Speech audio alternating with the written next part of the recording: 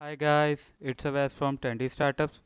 Today I'm gonna show you how to fix if your keyboard is not working in Windows 10. So let's get started. So simply goes to start button. Click on settings.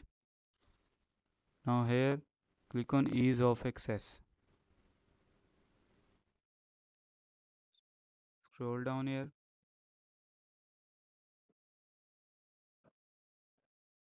Click on keyboard. Scroll down. And here you can see use filter keys. So on the filter keys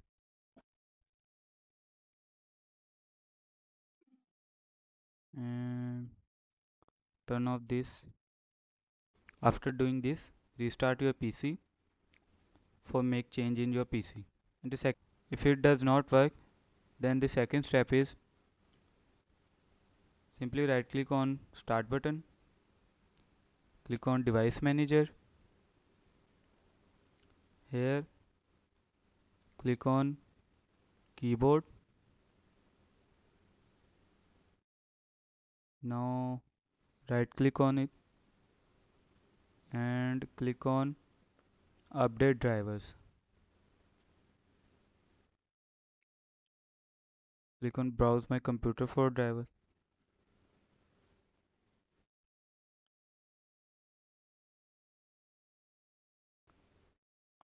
click on next after doing this your driver will start updating restart your PC and it may fix your problem I hope this information was helpful for you.